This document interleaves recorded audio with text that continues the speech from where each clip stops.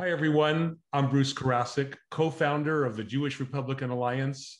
Thank you all for being here. We're so happy to have Daniella Bloom here with us today. We'll be speaking with Daniella in just a few minutes. But first, yesterday, November 11th, was Veterans Day.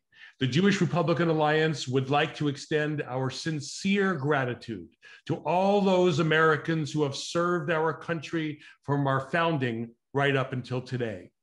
At every big event, I always start by taking a moment to recognize and thank all the veterans in the room. And without fail, the crowd always stands and cheers to honor them. Every time I meet a veteran, I thank them for their service, and you should too. This past week, I watched an excellent documentary on it's, it's about George Washington. It was on Amazon Prime, and it's called The First American. And it, the executive producers are Newt and Callista Gingrich. So during the show, they talk, one historian talks about it, and he says if you asked all the prominent founders, Franklin, Madison, Jefferson, Adams, Hamilton, they all said the same thing that Washington is the greatest of us all. In essence, there never would have been a United States of America without George Washington. But the movie opens with the words, they pledged their lives, their fortunes, and their sacred honor. If they lost, most would likely be jailed or hanged. They were taking on the greatest fighting force in history without, without any type of, of navy, and they had an amateur army. The founding of America was nothing short of a miracle and the sacrifices and bravery displayed by our founders and all those who have fought for freedom, liberty, and our independence should be forever honored and cherished. Those who live here now owe a great debt of debt gratitude to all the heroes who have come before us. Abraham Lincoln said America is the last best hope of earth. And Thomas Paine said the cause of America is in a great measure the cause of all mankind. But Benjamin Franklin warned us wisely when he said those who would give up essential liberty to purchase a little temporary safety deserve neither liberty nor safety. And today, our freedoms and our liberties are under attack, not by an outside government or by the King of England, but rather it is coming from our own government. Whether, whenever a conservative or any American is censored, it is a violation of the right of free speech for all of us. Whenever a doctor, a nurse, a police officer, or a teacher is fired for not taking a vaccine or for exercising their right to free speech, it is an attack upon all of our freedoms and all those who have fought to preserve them. When Joe Biden opens up borders to illegal aliens, does not test them, does not vaccinate them, and then secretly flies them to all parts of our country, it is an attack on freedom for all American citizens and those immigrants who obey the laws. When Joe Biden shuts down the American oil pipelines and then encourages OPEC to produce more oil, he is infringing on the freedoms of American energy companies. When rioters are allowed to burn, loot, and commit acts of violence, the freedoms of law abiding citizens are being denied. When Governor Newsom, the governor of California, frees thousands of prisoners and the result is crime increases to record levels. It endangers the freedoms of good Americans and their right to liberty, life, and the pursuit of happiness. And when an inept commander in chief leaves Americans behind with billions of dollars of equipment in Afghanistan, and then he entrusts the enemies to provide security for our troops and our people, and it results in the slaughter of 13 servicemen who did not have to die. It is a betrayal to them and all the veterans who have served our country.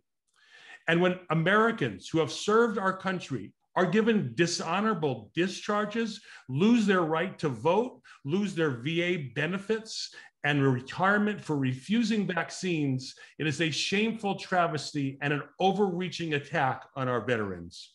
In closing, Ronald Reagan once said, We the people We, the people, tell the government what to do. It doesn't tell us. Almost all the world's constitutions are documents where governments tell the people what their privileges are. Our Constitution is a document where we, the people, tell the government what it is allowed to do. We, the people, are free. So I want to thank you all for being here. And now I'd like to introduce to you my good friend and fellow JRA co founder, Mitch Silberman. Mitch. Hello, JRA community. It is always so great when we are together. There's an old saying that all of you know, very wise, very well known. You could say it with me, which is if you're not a liberal when you're 25, you have no heart. If you're not a conservative by the time you're 35, you have no brain. Well, we are blessed today with a guest that has a heart and a brain. And I'm always encouraged when I meet with younger people who are conservative, because as you know, there aren't enough young conservatives out there. But I'm starting to think that deep down, young people probably are conservative. They just don't know it. They have literally been hit with an avalanche of leftism from their parents or their, rather their friends, entertainment, social media, sports, politics. They are so filled with all this nonsense that just isn't so, that doesn't make sense, that they don't even know they are a conservative. But there's a solution to that. You unleash the power of questions. You ask them great questions that impact them, that affect them. And here's the key if you say it, they doubt it. But if they say it, it's true. It's just the way our brain works. So I'll give you kind of a fun example. As many of you know, I was a child actor. And because of that, along with the fact that I now have clients in the entertainment industry, I was a member of an underground group of Hollywood conservatives. These were actors, writers, producers, directors, stuntmen who all made their living in Hollywood. They passionately love America, had steadfast support for Israel, but of course couldn't come out of the closet. And I met some amazing patriots there, some famous, some not so famous. But I happened to strike up a friendship with a gentleman named Ira. And we decided to cut a short video together. And he, he directed it, we wrote it together. We had his young son, Sam, who was about 10 years old, play my son in, in the video. And Ira, I hope you're watching right now. So it went something like this I'm sitting at the kitchen table and I'm paying the bills. And then Ira yells, action. And as an adult, it felt good to hear that again. I haven't heard that in a while. So Sam walks up to me and he says, Dad, I got an A in geometry. I said, That's wonderful. I am so proud of you. How'd your best friend Timmy do? And he said, Oh, Timmy failed. He, he got an F. I said, Well, I know how important grade redistribution is and equity. So here's the solution. You and Timmy go to the teacher and say, Hey, I have an F. I have an A. He has an F. Why don't we split the difference so we both get a C? Of course, Sam didn't like this. He said, What? That's not fair. I worked so hard for that grade. I studied, I did all my homework, I stayed up late. Timmy didn't do anything. He goofed off, he played video games, he didn't even attend class. Why should I give him half my grade? So I smiled, put my hand on his shoulder, and said, Son, welcome to the Republican Party. And of course, I could have easily have said, Welcome to conservatism, or actually, welcome to real life. So if you ask them questions like this, you get them to think. They're not going to say, oh my goodness, I'm really a conservative, but you start to penetrate that claptrap they're being dealt. How about this? You have a child who earns $25 a week doing chores around the house. And you say, you know what? Um, I know we agreed you're going to earn $25 a week for the chores, but uh, after taxes, you're going to get 20. And they're going to say, well, what do you mean? Say, well, that's how the real life works. I go out and work. The government takes its fair share of my money, gives me the rest. So you're going to get 20 from now on. How do you think that's going to go over? I have one better. You can ask them, are they teaching you how wonderful communism, socialism is in school? Yeah. Okay. So here's what we're going to do. You're going to continue to do your chores and forget the $20. We're going to give the entire $25 to your brother who does no chores. So you do the work, he gets the money. So you start to talk about this, like the overrepresentation of Black athletes in sports, or the fact, as Bruce mentioned, that Americans are required to show proof of vaccination, but not illegal aliens. So start to ask them questions and let them answer, and you just have to do it. That's how you get through to them. And I'm going to leave you with a great quote I heard from, of all people, J.K. Rowling. She's one of the wealthiest people in the world. I think she's the richest woman in the world, other than the Queen of England. And you know her as the creator of Harry Potter. And she is certainly no Republican, but she said this it takes a great deal of bravery to stand up to our enemies, but just as much to stand up to our friends. Now, she didn't say argue, belittle, or bicker, but stand up to your friends. Let them know you're conservative. Come out of the closet, show them who you are, that you're a good, decent, wonderful person who is leading by example as a conservative. And now I get the great pleasure of introducing Daniella Bloom. She is America's premier relationship and dating authority, goes underneath the headlines to bridge the gap between what's going on in our personal relationships today and what's going on in our nation and world at large. Daniella, like me, is a former liberal and founder of Free Arts, the free thinkers advocate of Hollywood in Hollywood. Daniella's candid, comedic, and no nonsense approach to dating, relationships, and now politics brings a fresh view to audiences around the world. She's a frequent guest on TV and radio shows, as well as a successful keynote speaker.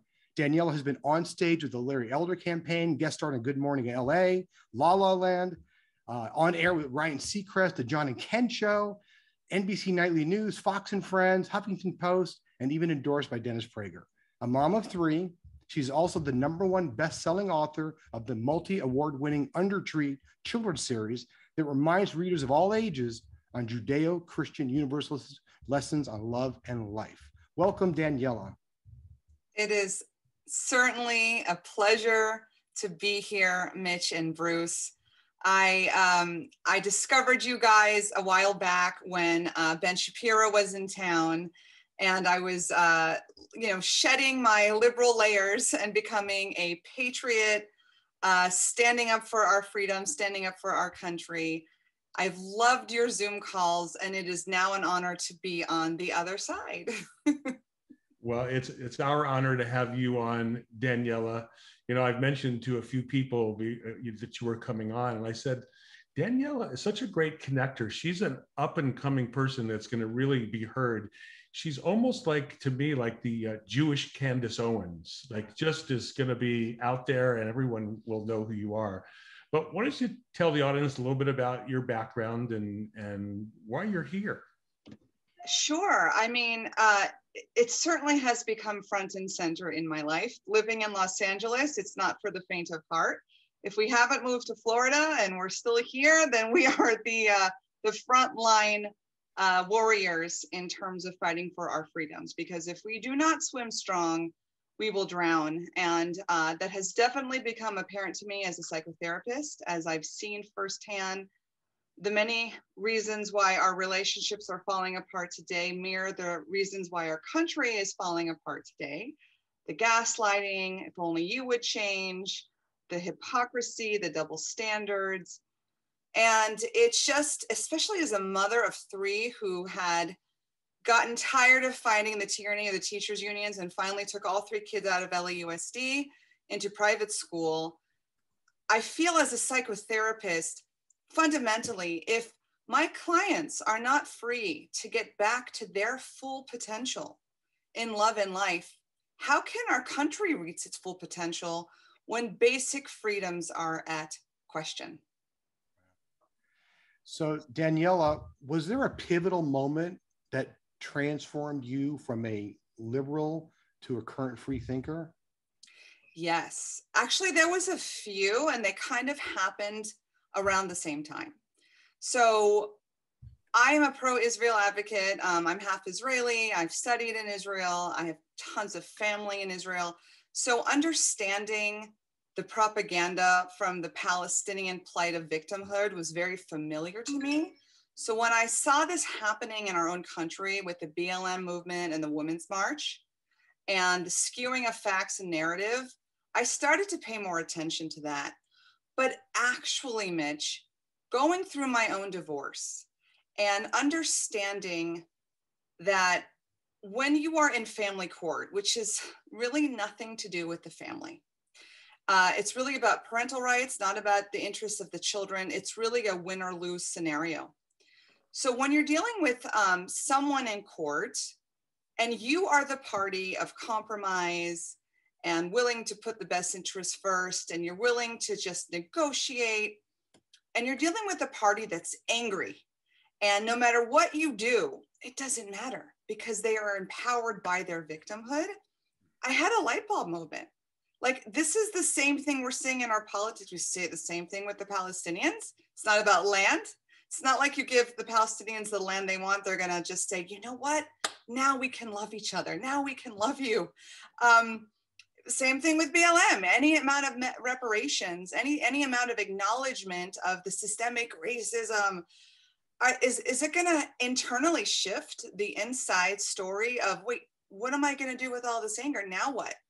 So that idea of personal responsibility at the end of the day is what really propelled me into free thinking.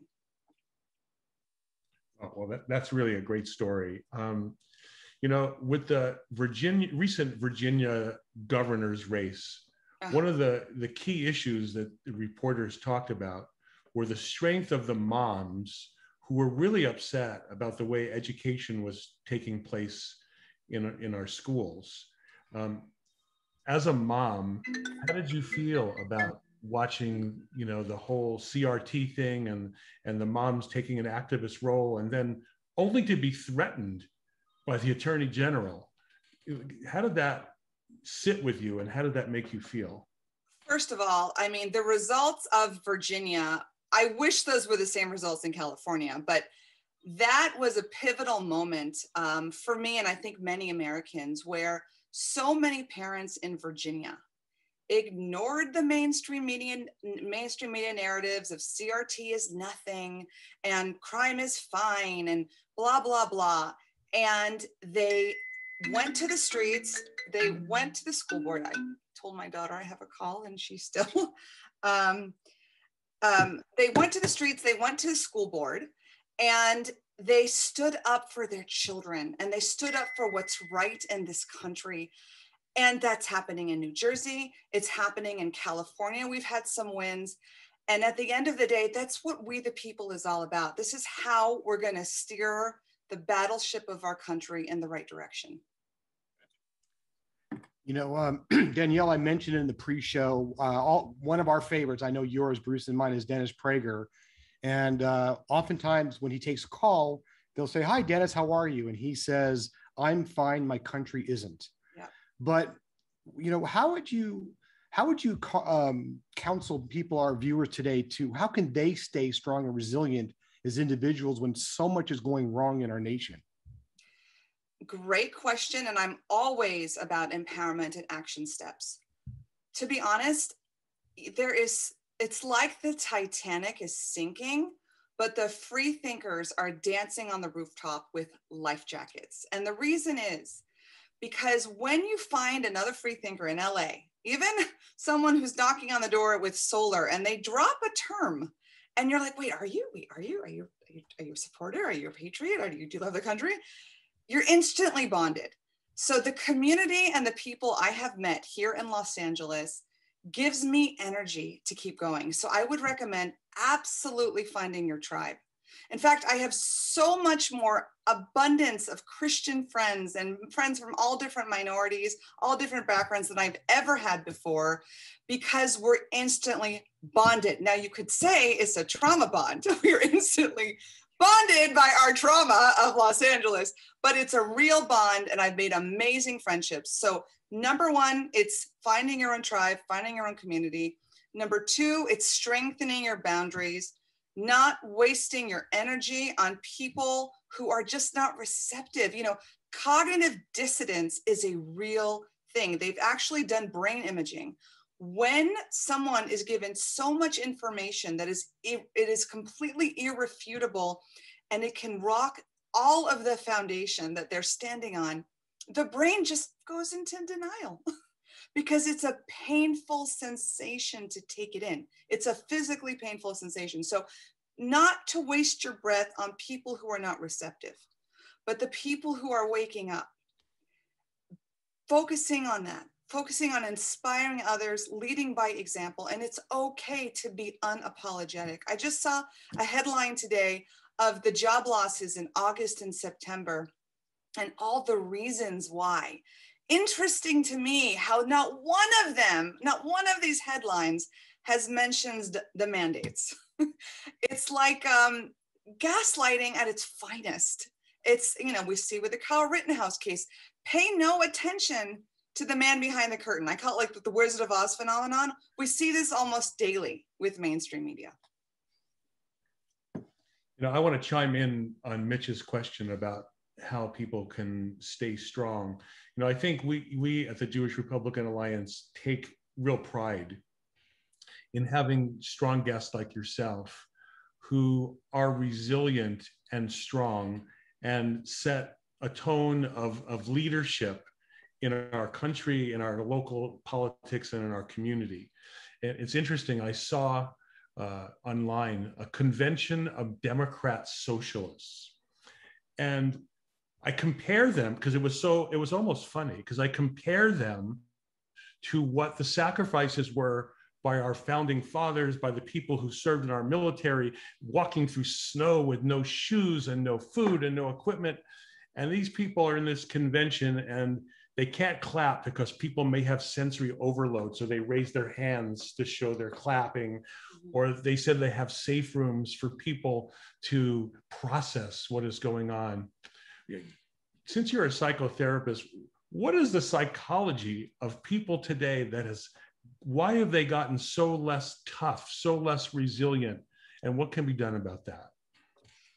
Yeah, I mean, I feel like in general, the pendulum tends to swing one way and then it goes and swings the other. And, you know, we're coming from generations where kids were, you know, b- to be seen and not heard. And now we're in this generation of, you know, permissiveness and, you know, time, no timeouts and, you know, child centered it's become parent centered to child centered and both extremes are are are not good. We always need a balance our religion preaches balance. Everything that is beneficial is about balance. In general what i'm finding especially with the left is this compulsive desire to control all external forces so they're comfortable and that's just not possible the idea of resilience, of be okay anyway, is what has been missing a lot with children today. People are so entitled to complaining. It's like um, the, the loudest tantrum you have, the more power you have. So we definitely have a problem here. You know, Danielle, I want to drill down deeper on something you said before, which is really I agree with. You know the viewers today they're they're on our side. They are our tribe. I love what you said find your tribe. It's so empowering and it, and it, it works. Um, then you have the other extreme which you said don't bother. I, and i agree with that as well. But there's a certain group of people in the middle that just befuddles me and i'm curious of your take. All of us in our lives have good decent wonderful people by all measures they they are great contributors to society they contribute to charity they're employers um, they're wonderful people, and they can and they're informed. Maybe not our sources, but they do read the news, right? The fake news, but they continue to support, for lack of a better term, evil and destruction. Mm-hmm. Those are the people that drive me crazy because I'm like, how do we get through to them? Yes. Um, you know, at the end of the day, people think they're doing something good or they won't be doing it. You know, they think they're supporting the underdog. They think that, and again, it's something that they likely identify with in their own personal lives, that they can relate to that sense of powerlessness, the sense of not feeling a sense of belonging or validated. So a lot of the times it is a projection. So it's really important. I do believe fundamentally that we as human beings do have the same universal needs and wants but our strategies to go about them and our priorities in terms of what matters the most are really what tend to be at odds. That's that's very very true. And one of the things that has troubled me, and I and I talked about it in our speech, but the the removal of freedoms that we have taken for granted living in America. It, it, the United States was a beacon of hope, people fighting to get in here, not just because of the economic opportunities, but for freedom. And there's example after example. Uh, there's one where this Lieutenant Colonel Scheller was a US Marine lieutenant, and he spoke out against what was going on in Afghanistan and how he criticized his superior officers for their negligence. And he was thrown into solitary confinement mm. without any any hearing or anything like that. Are you noticing the same things that I'm noticing that we're seeing the destruction of ordinary freedoms in the United States? It's horrible. I mean, if I see one more freaking headline about January 6th, I think I'm going to vomit. And the real victims are these people who've been arrested who went there, not because they're domestic terrorists, but because they love our country. It was attended by tens of thousands, hundreds of thousands, with no incidences for the most part. And the fact that they're thrown in jail and forgotten about, often in solitary confinement, with no prior criminal records. How is this America? How is this America? And, you know, it's crazy. I was at a rally with my daughter yesterday. We were honoring the veterans for the very freedoms they fought for that so many people are just blindly taking for granted and, and we're losing. And um, we were all out there without our masks and with our signs. And uh, this this um, this gentleman came with his opaque black mask on and he wanted to know why we're there. And just having a conversation with him about we are not anti-vax we're just anti-mandate. And we we want our children to have a right to education and to work without with with and be able to still mitigate our own risks and our informed consent. And he, all he was stuck on was but the community don't you want everyone safe. It was that cognitive dissonance again. And I'm like, I feel like I this this is not the America I grew up in. But you know, sometimes they say the darkest hour is before dawn, and I do think people are waking up. I think you're reading my mind, Daniella. That's a perfect segue to my next question for you. I want you to look deep into your crystal ball. Yes. With the waking up that you you see going on if we're having this meeting again a year from now, what's going on in the U.S.? Not the elections. That's a year from now. We we all we hope for a bloodbath on their side and that we win big. That's fine. But what do you see in terms of culture and people and freedoms and our society in the next 12 months or so? It's a fantastic question. Thank you, Mitch. Uh, I'm around a lot of movers and shakers. And that is kind of why I came. Um, I said, you know, we don't have the luxury to sit by and lose the culture war. It's affecting our education, it's affecting our entertainment, especially after working with the Larry Elder campaign. And he was marketed as the black face of white supremacy instead of American success story from South Central. Hollywood, we have a problem. And I FOA, the group that you were a part of, I said, you know what? I no one's doing something. I'm I'm going to take the reins. I'm going to do something about it, but I'm going to have a different spin. I wasn't involved with FOA back then because I was still a liberal. I know, jokes on me. Um, but I've I'm I've, I'm I've, I'm awakened now, and we do have to rebrand, and it starts with Hollywood and it's rebranding. We have to stay away from words like Republican, conservative, Trump supporter because Trump deranged syndrome is a real thing. Try it sometime. Just shout out Trump and watch the like total panic and like Pavlovian reaction. But anyway, free thinker though still seems to be a cool term.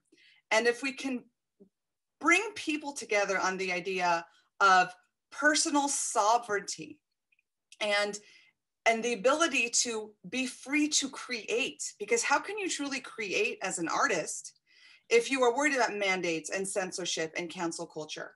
So the group I have spearheaded, which is taking off, I am so happy to report, it's completely vetted, it's completely word of mouth, it's for free thinkers in the industry. We have grown leaps and bounds in the last several weeks. But eventually, when this group gets out, we do want the Nicki Minaj's, the Joe Rogans, the Bill Mahers of the world to be ambassadors because free thinking doesn't have to have a partisan label. Because what is free thinking? It's critical thinking, it's common sense thinking, it's accountability thinking. That is so true. I, I, I, I've heard great things about your group, Free Arts, and uh, everybody should know about it if they're in the industry and, and get involved. Okay, so, you know, Mitch and I are not in the dating world, obviously, uh, but so many of the people in our audience, you know, our kids are all in the dating world. So that is one of your your many expertise. So w- tell the audience what do you think the most common mistakes that men and women are making in the dating world today? It is my favorite subject. Um, I do work with the concept of law of attraction. So, truly, once you get clear and in alignment, which you want to call in, it is not a matter of if, it's a matter of when. But where the struggle comes from is people think they're clear and they really aren't. For example, when you send mis- mixed messages out to the universe or to God or to Hashem or to Jesus, whoever you want to call the greater force, you neutralize, you neutralize the attraction. For example, if you're like, oh, I'm so ready to get married, but your longest relationship has been six months and you know you're you're you're you're 38 years old, you know, we, we, let's let's get into that. Are you do, do you really want to get married? Because it sounds like if you did your life would have taken on a different role. What what are you afraid of? What is under that that got you here? You know and you, you have a horrible breakup you know i just want to meet the one but you still think everyone ultimately cheats right so you you you neutralize your charge and you end up attracting the very patterns and relationships you want to avoid so what I would say to people today, you have to get clear on what you truly do want, not what you should want, not what your people, your, your family thinks you where, where you should be, what you truly want. And you start from there. And dating, if you're going to do it well and it's going to succeed into a long-term partnership, it has to be fun again. It should not feel like an interview. There should not be fear if you have those things happening to you, you're not date ready. Let's get you date ready because dating, especially successfully, especially after a breakup, or if you haven't had luck, like if you've become a professional dater for the last 20 years and you're just jaded and you think everyone lies, we have to make it fun and exciting again because that's how you show up. And you get only one swipe to make a first impression. And then you only, you know, especially today, online dating is the dating of front and center way of connecting, especially because of quarantine. And how people choose pictures, how people describe themselves or lack thereof. There's tons of subliminal messages just right there. And many people can be very successful in many areas of their lives. But when it comes to dating, they end up falling all over themselves. They have good intention, but they're making basic, basic mistakes. For example, men and women are attracted to very different things. Men are visual, so women do need to have clear pictures, but both men and women, the first picture should always be looking straight at the camera and smiling. I mean, that you would think that's common sense. You would couldn't believe how many things are anything but that first picture. I mean, I'm talking about cars and babies and dogs and what other things, but always the first picture should be front and center, looking at the camera with good lighting. Um, but for women, women want to see men in suits, okay, or collared shirts, something that conveys I have a job. Don't show gym pictures, okay? Hello, we don't need that. See that. You want to see that of us. We don't need to see that of you. With women, yes, we know men are visual, but if you present yourself as as as as too promiscuous in your pictures he's going to feel that's how you are with every guy. Show some class show your full figure but do it elegantly. Everything counts. Every decision you make has a subliminal message attached to it. Very fascinating to me. I'll be celebrating stephanie i'll be celebrating our 24th wedding anniversary uh, in a couple of weeks but this is so fascinating you know one of the to me, one of the greatest evils of this whole uh, response has been the lockdown.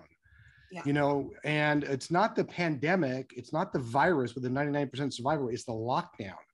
How are young young single people, and maybe in our case conservative, how are they supposed to get to know each other or trust or interact other than what you called swiping because now you're you're literally isolating people and i think it creates more fears and and strange emotions than ever before yes uh, i've gotten that question very often especially today you know it used to be i i want to you know it's so important to me to to date Jewish. now it's so important to me to date conservative because you don't know what you're getting when you're just getting Jewish today.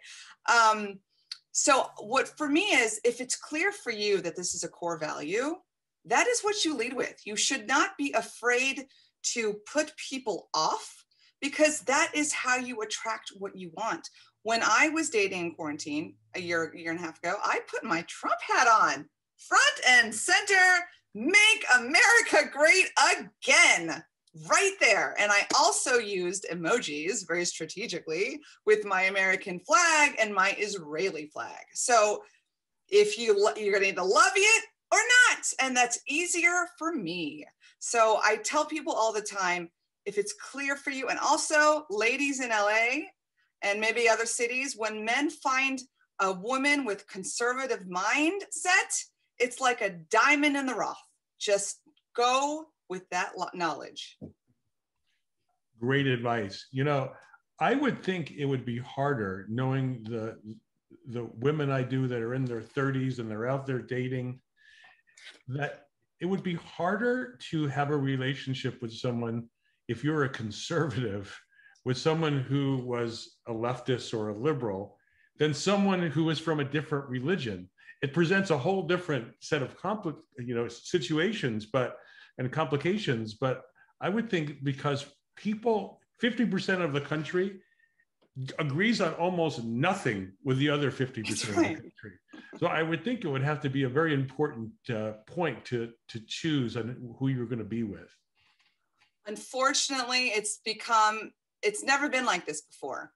It's very you know it, it, when i when i was much younger in the 90s and i was in college was not that big a deal. And also de- the, to be a, a, democrat back then was not like it is today. There was this no woke socialist.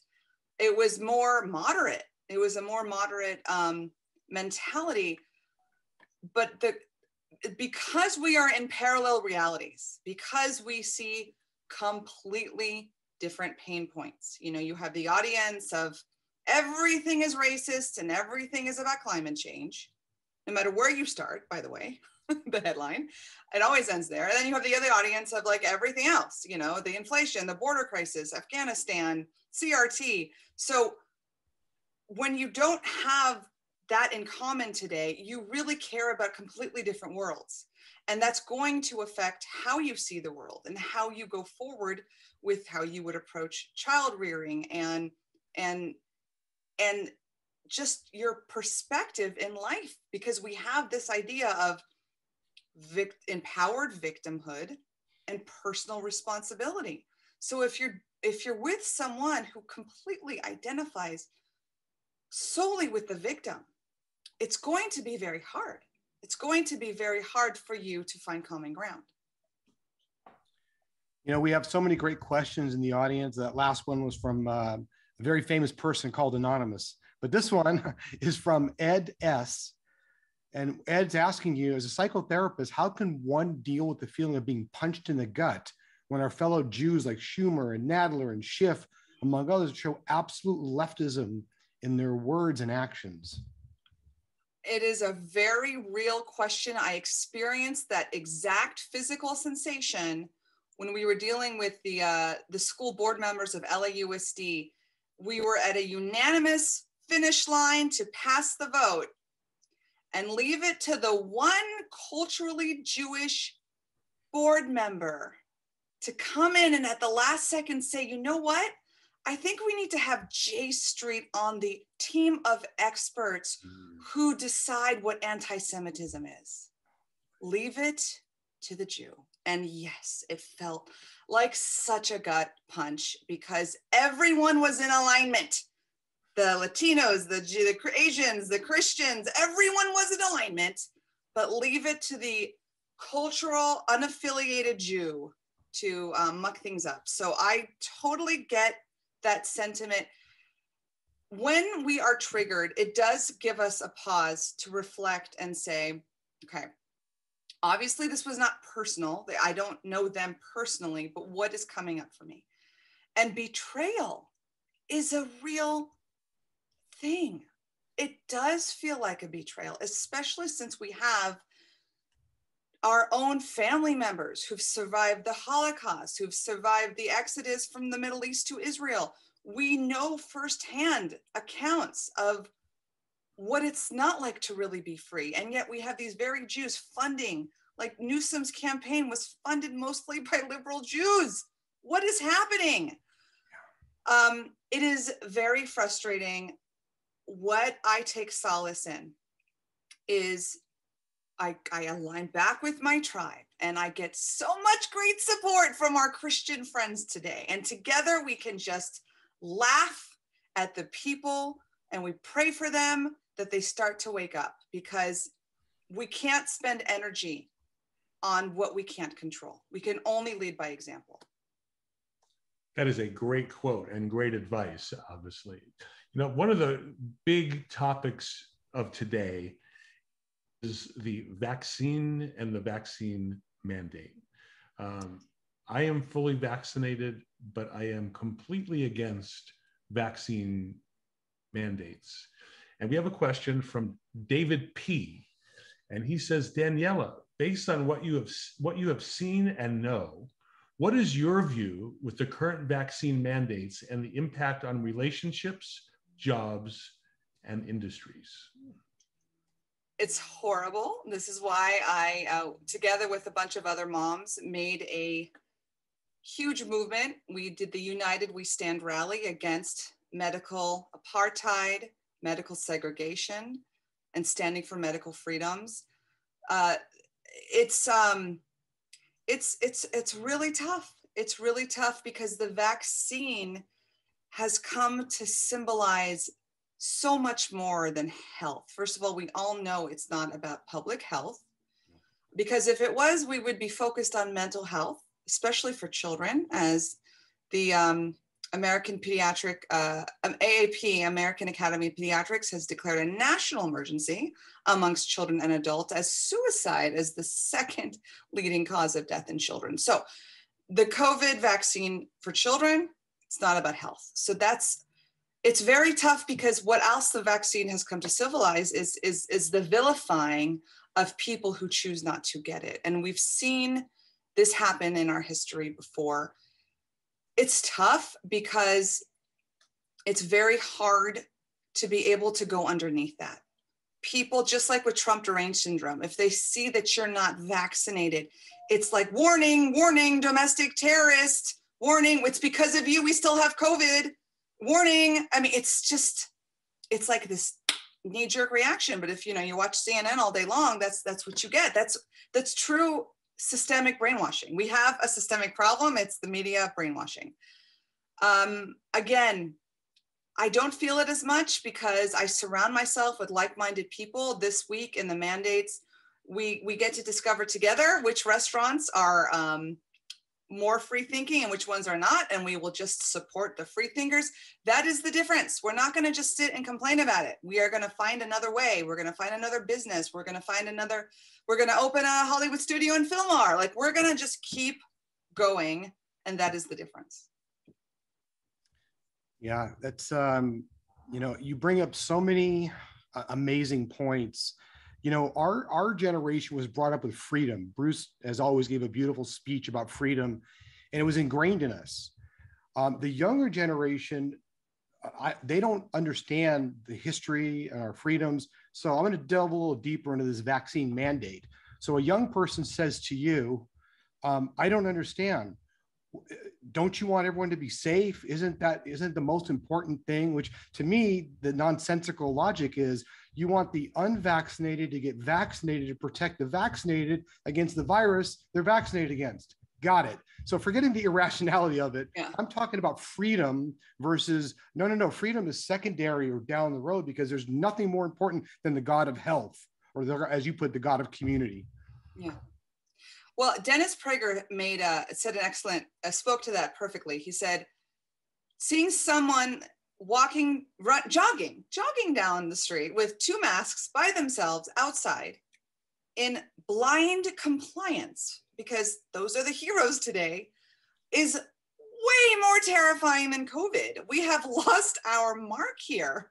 We've lost our mark. And there was an amazing video by JP Sears who encapsulated this beautifully. He compares it to a, wearing a life jacket in a pool, like why you have to wear a life jacket for other people, but you you have you you can swim, but you still need a life jacket. Like it's genius. So if you haven't seen it, go check it out. But it that's just it. It's it's it's no longer logical.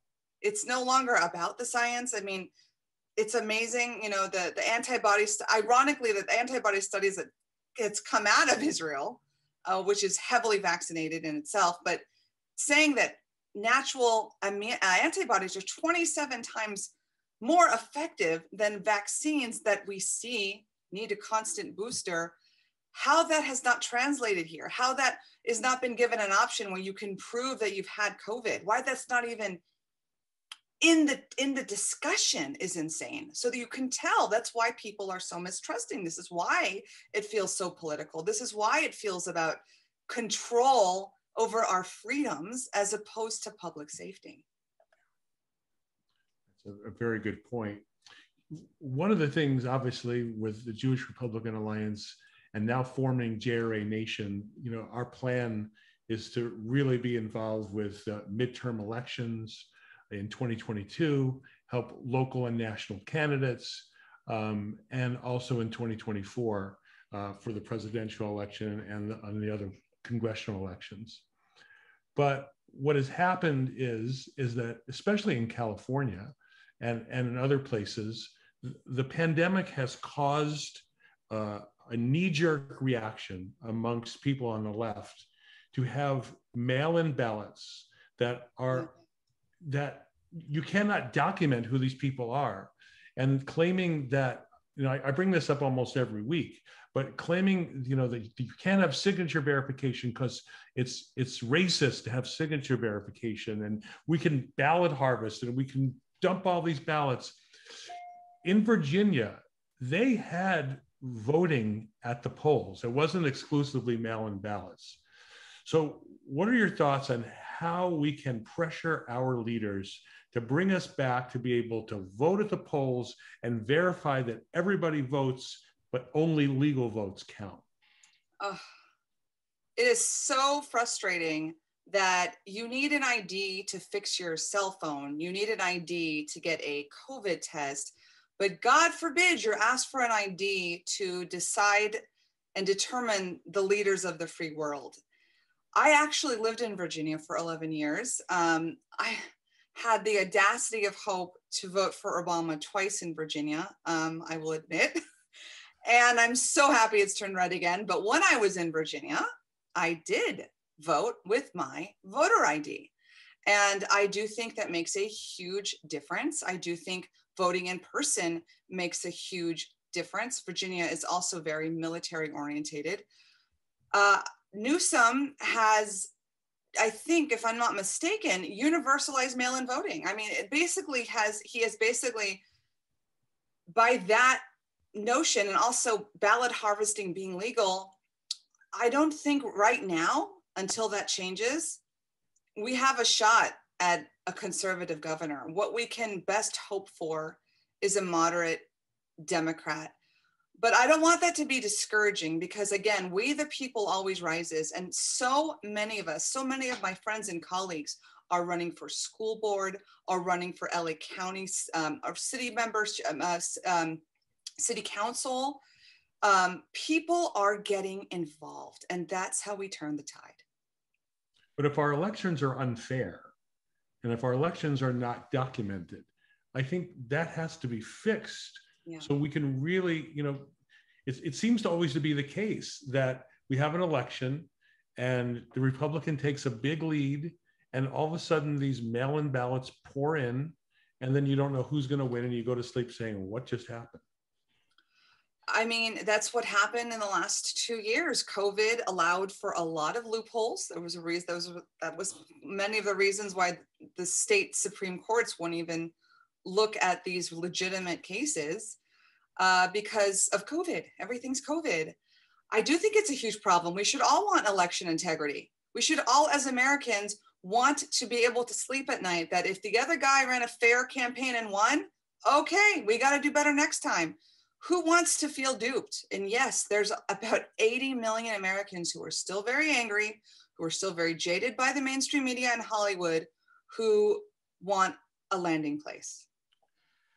Very true. You know, Daniella, we have kind of a, a gut wrenching question from Patty D, and I'm sure she's not alone in this kind of a situation. She writes Hi, Daniella. I have had a really tough two years because my boyfriend that I live with and my oldest son are Democrats. What's your advice to her? Because it's a very tough situation. And I think we all have family members that, uh, you know, this is something that we all have to try to deal with. Not only is it tough today, but I mean, to, to look at your own family members as the problem, the uh, because of you, and I have to live with you not only do I hate your lasagna, but you are the reason our country is a disaster. I mean, it is just really high stakes today, really high stakes. And it's really tough, especially with kids, because, you know, for example, BLM, like, mom, what, what's wrong with BLM? I mean, look, I have three kids of my own. I, you know, my middle daughter is my patriot, Zionist. She comes to all the rallies with me. But my eldest daughter, man, she goes to me, so mom, what, what are your pronouns? you know she so yeah it's starting i mean you know I, I joke that like you go to the doctor's office and they give you this list of like pre-existing conditions to watch for there should be a section on like pre you know precondition to be a liberal because we have to watch for that um, so it's tough it's tough when it's in your own family and especially if they want a reaction you know i would really try to stay grounded as possible and it's not about winning an argument because you're not going to. It's about asking questions and engaging and just opening a dialogue. Like like uh like you were saying Mitch with the videos you were doing. You know, it's like what would you do in this situation? What do you think is fair? And then you you get them to buy in to that dialogue. And um, and that same daughter who asked me about my pronouns, she also says I can't stand the homeless, so I'm not worried about her. I think she'll get back on track. But um, there actually is a great book by my friend Will Witt from PragerU. I don't think I'm gonna I'm saying because it's perfectly right, but it's like how to win liberals and win arguments. It was based off like how to win friends, influence people. And I I have my own copy, and he you know that's what he does all day long is he goes to college campuses and he's just not confrontational. He's respectful, and he gets people to like, huh wait, you're you're actually a lot more intelligent and you're making a lot of sense here.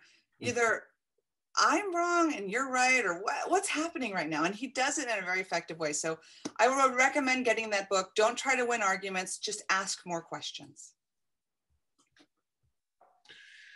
So you you mentioned Daniella in your answer just now, uh, the homeless, and I look out at our society now and we're calling a group of people who are usually not well physically, not well mentally, maybe on drugs, and we're calling them homeless.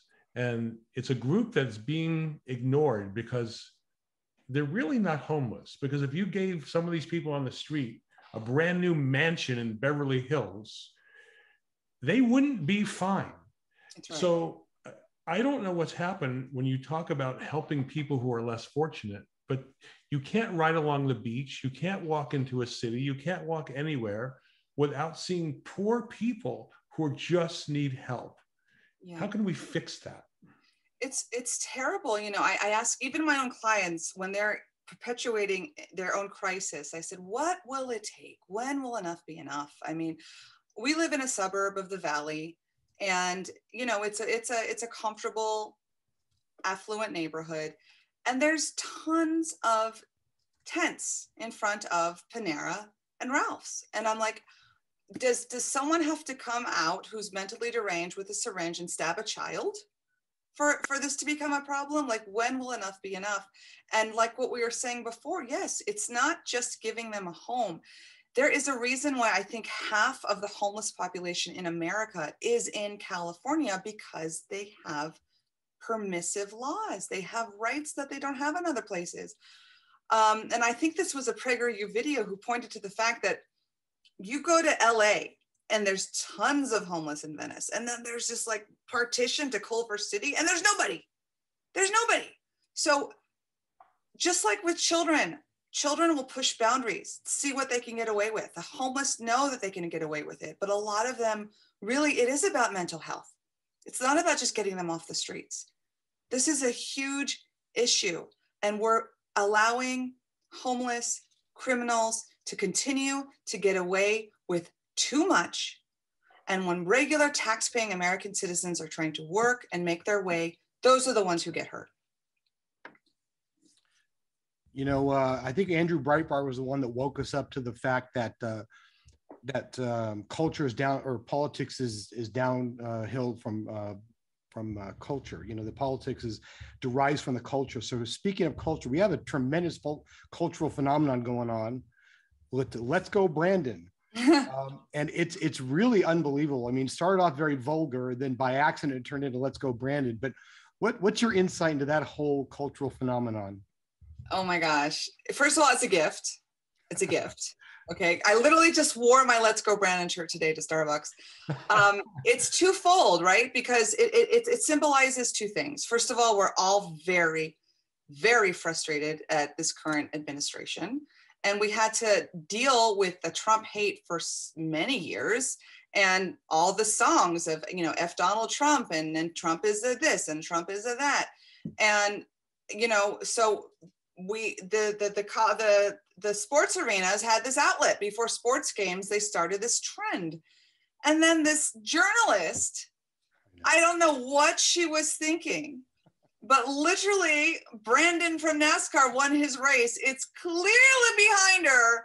F Joe Biden, no doubt. But she has the gall to say, let's go, Brandon. So now every time we say that, it's an F you to the current administration and it's F you to the media. And that's why it's taken off and it's all over the world and it's really big in Australia. Well, Daniella, let me tell you, it's been an absolute pleasure to have you on our show.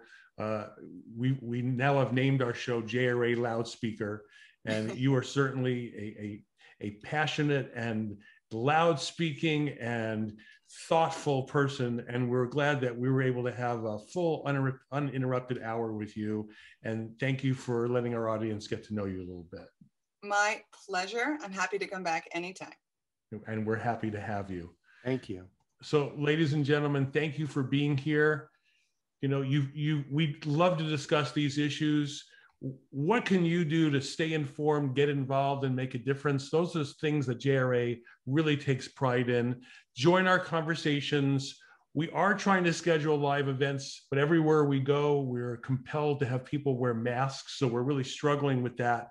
But in the meantime, participate in our social media, get here on JRA loudspeaker, network with other members of guests, get involved, join our alliance, serve on a committee, help us form chapters, become a member, make a tax deductible donation to our 501c3 JR, Jewish Republican Alliance.